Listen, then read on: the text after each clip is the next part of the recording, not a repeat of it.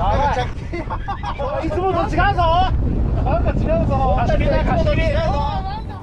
どうもこんにちは、ズーマでございます。今回の動画は、えー前回のリベンジですね、東京湾沢田キャスティング戦となっております。本日も、えー横浜本木市ウルフから出船したいと思います。ここは、えー YCC 新山下のヨットがいっぱい船が並んでるところですけど、ここから出船したいと思います。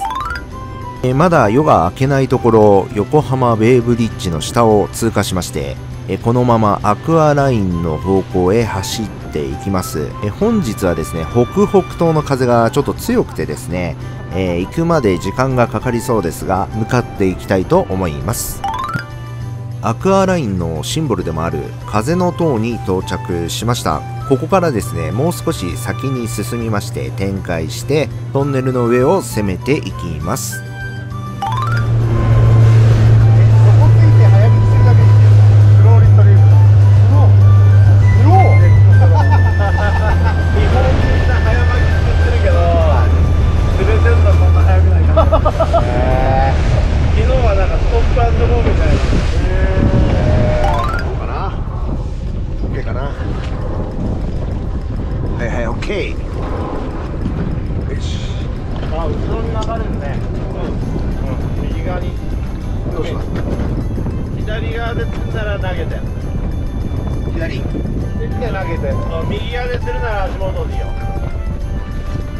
えー先ほどもお話ししましたが本日はですね北北東の風が強くてですね、えー船が右から左へ流れていってしまうんですね。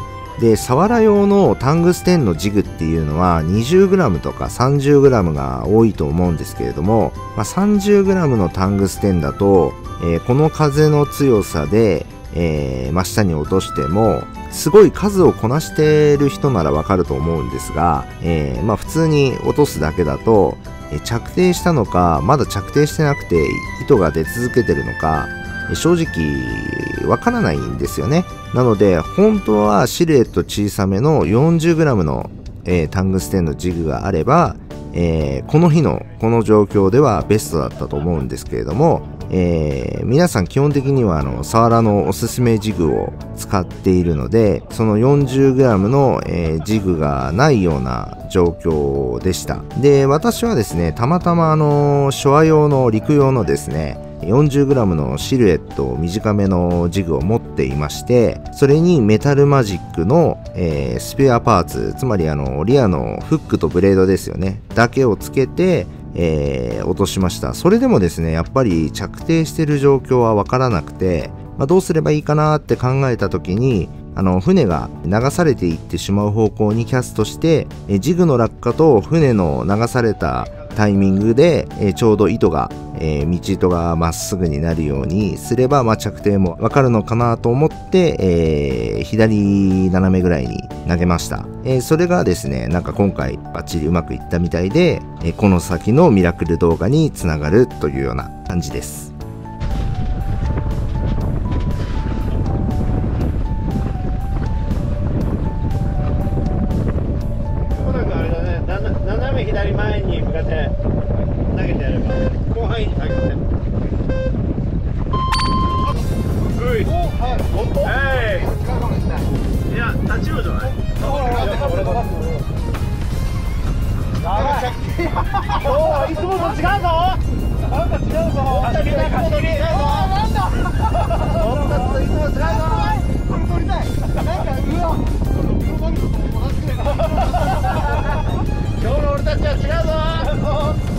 船長船長俺がやらないと。俺がやらないと。タコと一緒でおおっ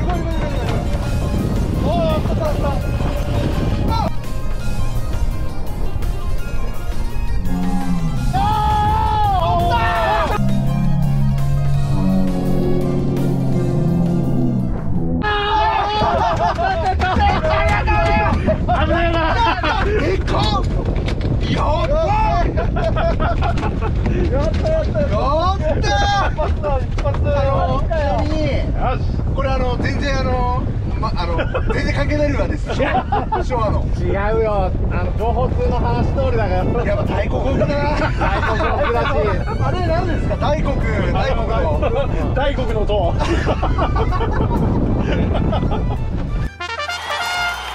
東京湾沢田キャスティング、えー挑戦2回目にしてリベンジを果たすことができました。ありがとうございます。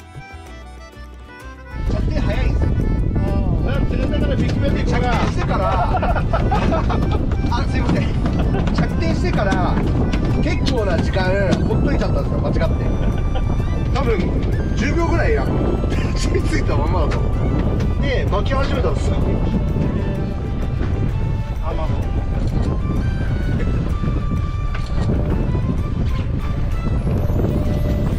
ざいます。やった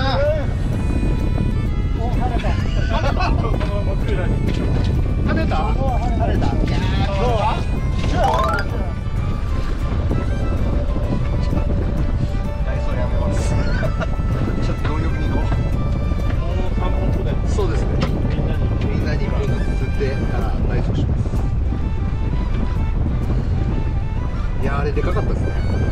ちゃんとサワラでしたね。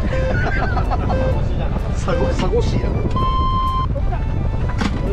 やったー！本当？かっこいい！どうしたんだ？ちょっと静かに他の船が見てる。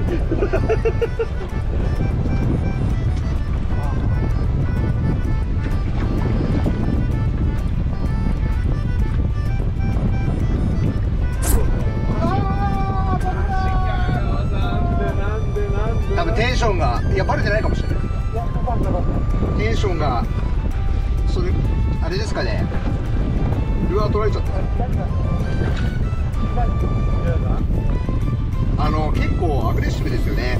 なんかさっきもエラエラがエラごっそりいったんですよね。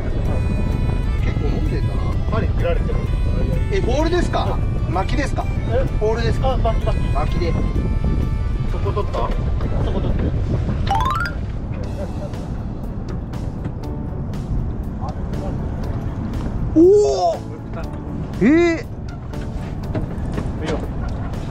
ちょっと待ってください。外れちゃった始めました。え乗ってえ乗って。おまた来たおい出てる出てる。うわ。あー出てるけどかかんないなんですかそのライブベイトですねも文字通りの。待て待て待て。え？なんか荒れましたよ今。顔上げて顔上げて顔上げて。こっち向いてはい。なんだろう入れ食いじゃないか。なんでルアー釣れないの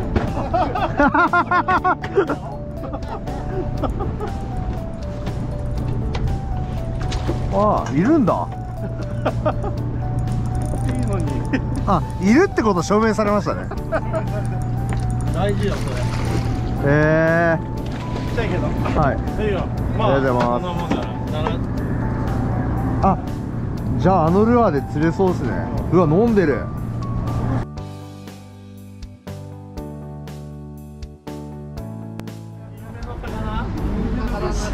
今日釣れてもよかったんだけど ちゃんとねあの時ね銀色か青色のルアーついてくれたら釣れてたね。あーオレンジ色の変なルアーついてたジグもあれでしたね。ちょっとぶっくりしたちょっと風があったからそこにつくのも難しかったし。いつも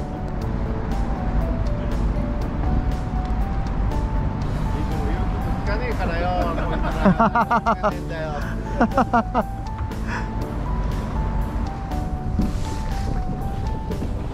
一回下がっちゃってどんどんどんどんはいはい。よいしょ。改めて見たらでかっ氷少な。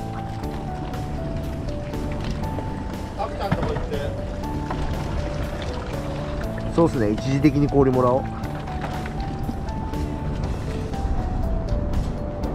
今日多分普通の風がそんなにこれの半分だったら多分釣れてたんですよみんな。あの船が流れるのが早すぎて。でそれに合わせたジグを持ってきてなかったっていう。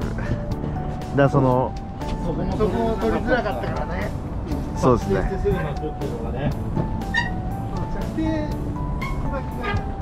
ちょっとタイミングがねやっぱあのタングステンの 60g でもやっぱ全然あたもうかすりもしなかったんでやっぱりもっとだタングステンの40持ってれば完璧だったなんかあの本来サワラのなんかジギングってこれぐらいのやつ使うらしいんですよそんなちっちゃいこんなちっちゃいのを使うって言うんですよねやっぱちっちゃくないとちっちゃくないとはい案の定ダイソーあの、うん。今さ今日釣れた 40g がシルエット短めのはいはい普通のやつなんですけど、うん。これぐらいでダイソーのやつと、うん。うんたあのこれは無理でしたね。かすりもしなかったです。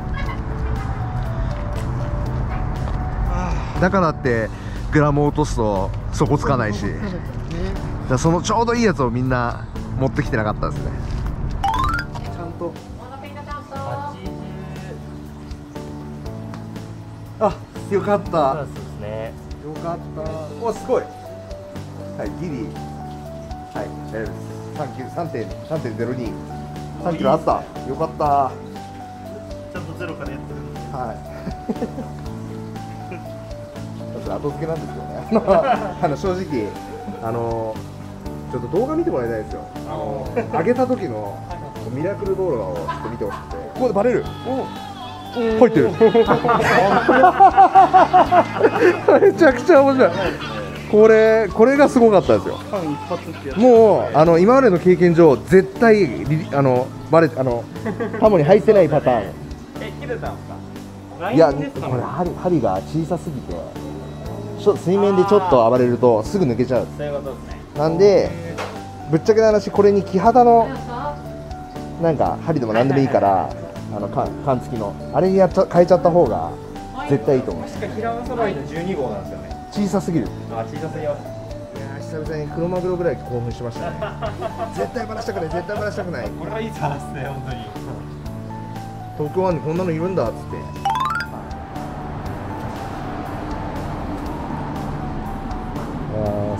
あこれ何ですか？えちゃんこちゃんこ。鶏スープ。あ鶏焼き鳥屋さんの鶏スープなんか絶対美味しいじゃないですか。それ拓郎さんが作った。絶対美味しいやつじゃないですか。ありがとうございます。はい。今日あれですね。今度はあこんばんは。これちょっとサワラ見てもらっていいですか？ちょっと。車さんちょっと今日釣ったあの赤ライン赤ラインじゃねえ。あ言っちゃった。赤ラインの上で釣った。ちょっと意外にびっくりしますよいやびっくりしますよね。そうなんですよ。あれマジ？そうなんですよ。これこれ見たらあれ？サワラってこんな太かったっけ？って思うんですよ。はい。あれいつもなんか見慣れてるせいで、ちょろっとしますよもっとね。はい、これやばいっつって。はい。そうなんです。おめでとうございます。ありがとうございす。ごいね。はい。太いね。太いんですよ、マジはい。ちょっと今日混んでるけどご期待でえー、これ。サワラ。はい、ありがとうございます。今日ややってもらおう。あ、ここでいつも私が釣ったやつは見たところです。すごい。はい。はい、こんばんは。はいはいはいはいはいはい。実は多分旬ってその場所によるんですよ。例えばヒラメなんかは9月でもほ函館のヒラメはすごく美味しいです。あの冬のヒラメみたいでいただきます。えー、で、横田さん、水曜日行くのいや、行くならって思ったら、あ、うまっうまいでしょやべえんだよ。ゼロゼロ。いや、だって、あんな出るでまずいわけないよ。めっちゃうまかった。うまいと思って来たけど、本当うまいんだよ。えー、これすごっ美味しいよね。はい。これ焼いたらもっとやぶマジやばいと思うよ。パッチパチになる。うん。本当に美味しい。あの、ランクインしました。美味しい。自分で釣って魚美味しい魚食え、黒マグロ、オニカサゴ、生きオニカサゴの中にランクインしました。美味しい、これ。はですよね、ますよね。ゼロっとしましたね。い。いやでもそもそもあんな太ったサワラ僕初めて見ましたいやあのうまそうっすねって言いながらこう本当サワラかなと思いながらめちゃめちゃデブだったじゃないですか、はじゃこらって思ってい。いや、これ美味しいな。あのこれ会長さんごめんなさい。食べに行ったってない出てこないですねこんなもん東京でも出てこないですよ。そうですね。出ません。あの拓郎さんもそう思います。もう二人がそう言ってくれるとそうなんだろう。だって今毎週銀座で接待してますから後半のクラスの刺身がサワラでしょ？ないって。え出ません。先自週分？先週も銀座の食ってましたけどこんなもんは出てきません。あのいちいちこうまあ大まかな旬とか大まかなその産地っていうのはあると思うんですけどあのやっぱりこうなんていうんですか時期とタイミングと場所なんですね。いやいや本当に。すごいあの勉強になりまいやした僕は今日なんか焼き魚が出てくるのかなと思って、僕もしごちそうになれるんです食った瞬間、今振りですかやばい。て、はい。もう、最後さ、テロテロだよ、これっつって、はい、はい、これは焼いたらすごそうですね焼いてる分、ガボーンいくと思うけど、いや、本当にサンこれだけめっちゃうまいっすー、よ。よかった。ありがとうございます。いや、いいとこだけどね、もう、すごいね。今回のサーラキャスティングですが、結果的に私は1本取ることができました。えーこれはですね、えーいろんなことが重なった結果だと思うんですけれども、前日にですね、えーサワラがたくさん釣れているというふうに情報をくれた拓郎さん。本来はですね、ビッグベイトオンリーだったはずの釣りですが、釣れているならサワラキャスティングもやってみようかと、えー言ってくれた今回のメンバー、えー周囲にプレジャーボート遊漁船が一切いないのに、えーこのポイントだと釣れる場所に連れてってくれたシーウルフの内田船長、えー毎回私の釣ってきた魚を、えー特別にさば、いて提供してくれる、えー、鳥ショーのスタッフの皆様。そしてですね私の動画を視聴してくださっている皆様も、えー本当にありがとうございます。これからもですね楽しくて奇抜な動画をアップしていきたいと思いますので、えーご視聴をよろしくお願いします。それでは皆さん次の釣りでお会いしましょう。